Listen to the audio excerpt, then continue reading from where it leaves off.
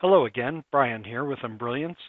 In part 5 of introducing the controls for Stitch Artist Level 1, we're going to round out all the rest of the stitch types, including freestanding backgrounds, stippling, motif runs, motif fills, and cross stitch.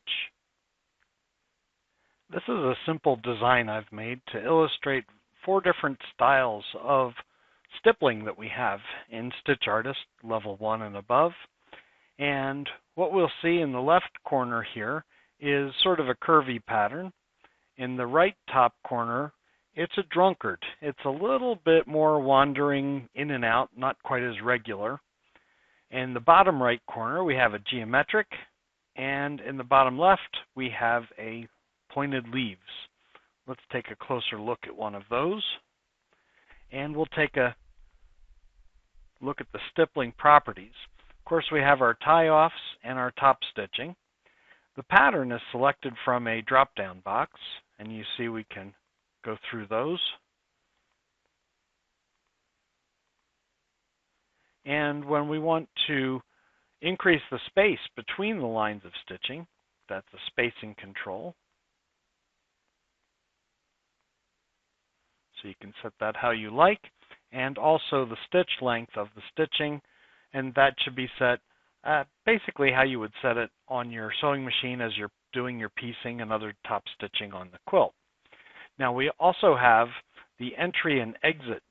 Now the stippling uses the same entry and exit because it wanders around and comes back to its starting point. So if we move the entry, you'll see the exit handle will follow. And here you can see I've created a jump stitch. So the entry and the exit move as one. We also have an inclination, and the inclination is used to change the pattern up within the area. So if I drag this over, you'll see the pattern can change. That's useful if you have straight lines like this where you want to do something against the edge. And sometimes the pattern doesn't look exactly how you want, so you may want to adjust the angle a little bit to get something different. Another feature that we have is that when you have a stippling object selected, you can then click Run. And instead of taking the outline of the shape, it actually converts the stitches of the stippling into a run, which means you can now go in and edit those changes and do anything you like to pretty up the stippling or go around a certain part a little bit better if you want. So that's an overview of the stippling. Not a lot of properties, but what's there is really useful. And of course, once you're on a run, you can change that and do other things with it. Let's create a motif run and look at the properties for that. If we select motif run on an object, we'll get a set of evenly spaced running stitches across it. That's because we haven't added a motif yet. When we click on motif, level 1 will have just two properties, the top stitching and the trim or tie commands. And you will see more, uh, more controls in level 2, but we're working with level 1 right now.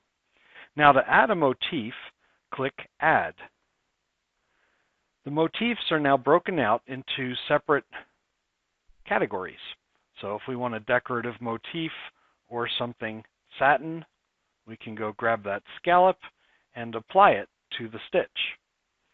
Now something we can do that's a little bit unique is add as many different motifs as we want. Let's go get a candle wick. And so what you'll see is the motif will alternate across the line. We can also take individual motifs and change their size. That's a really big candle wick. Let's bring that back down. And we can increase the spacing that follows each of those. We can even take one and remove it and go back and add something else. And let's select that and increase its size. And you can stretch motifs out or squish them down and even rotate them on the line. And where there are motifs that are different going forward than backwards, you can also mirror them. So that's the basics of motifs. In level 2, there are gradients to motifs, which lets them change size as you go across the line. So at one end, they'd be larger than the other. But for level 1, it's a nice basic and useful function. A motif fill is going to use a lot of the same properties that we just looked at in a motif. Here we'll take and create an object. I'll just select it and uh, we'll apply a motif fill to it. Now you'll see that this starts with just lines of stitching because we haven't added a motif. So let's go ahead and add something. And how about that? And that's a motif. And we can size it, of course, which adds more of them. The density control, which is new to a motif fill, it doesn't exist in a run, of course, add space between the motif lines of stitching. And of course, we do have angle that we can use. We also have a gradient effect. And with the gradient, you'll see that the bottom is more open space and the top is a little tighter. And you can adjust the spacing and even come back and play around with the other density. So you've got a couple of additional things you can do with motif fills. Don't forget that you can go back and add motifs in line. Let's take this whole thing and make it a little bit bigger. And you'll see the motifs will recalculate as we change the object. Something fun to play with. We have two different kinds of cross-stitch objects. Let's go get a shape. Just choose a simple heart and apply a cross-stitch to it. And that's a pretty ordinary way to use cross-stitch. But what you'll find is that adjacent objects will add crosses without having to worry about the separation. In other words, the crosses will maintain points as if there was a continuous cloth going on. So here, if I just add some points along the outside edge of this, and we set that to a cross stitch, you'll see that the crosses will touch. So using lines or closed shapes, you can adjust a cross stitch, and they take the same properties, a top stitch property and a tie. And then, of course, we have the size in stitches per inch or in millimeters. Generally, if you're working on a cloth, you've got a stitches per inch in mind. And then the number of passes is single, double, or triple. This is how many times the whole pattern will repeat over itself to give you a thicker effect, just as if you were doing cross stitch with more strands of thread. So not a lot of properties there, but kind of a handy set of tools to have.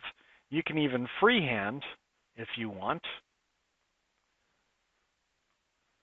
We'll right click and add a cross stitch to it and write your name, write some words, anything you like. The final stitch in level one that we're going to look at is a freestanding stitch. Let's get a shape and make that a little bit larger and click freestanding. The freestanding background has some simple properties, the top stitch and the ties as usual. It can be a double stitch which stitches over everything twice and that's more in line with what we would normally do to create true freestanding backgrounds. But if you're going to use this on top of an organza, you might just want to use a single pass of stitching and save all that thread and time. You can also adjust the density in case you were just trying to run some decorative rows of stitching within the embroidery. Uh, you can make that large. If you're going to use this as a true freestanding, you probably want to keep the density down in the twos or under. The stitch length would be used for the same purpose. If we're going to make this a larger stitch, we might want to increase the stitch length just to save on the stitch count or because it works with the effect that we're after. Uh, generally, you're going to keep that in the twos or under for freestanding work. And then the diamond pattern is just offsetting those points a little bit to give sort of a net look and that can still be used with freestanding as a background. It's just a different look, and it's just a nice choice to have when you're doing a freestanding background or a set of rows in a piece. You'll notice we also have an inclination on this, just as if it was a fill, so you can change the angle that runs at. And that can be useful if you're using this as an underlay that's going under some other piece like a leaf or something that you're making that's going to be three-dimensional embroidery where it comes up off the fabric and you want to have the background going in the direction of the stitching of the top stitched piece. So you can use this completely as an underlay if you like. Thanks for watching this video. We're going to pick up on the next video using some more of the commands, including some of the context menus and keyboard commands. See you soon.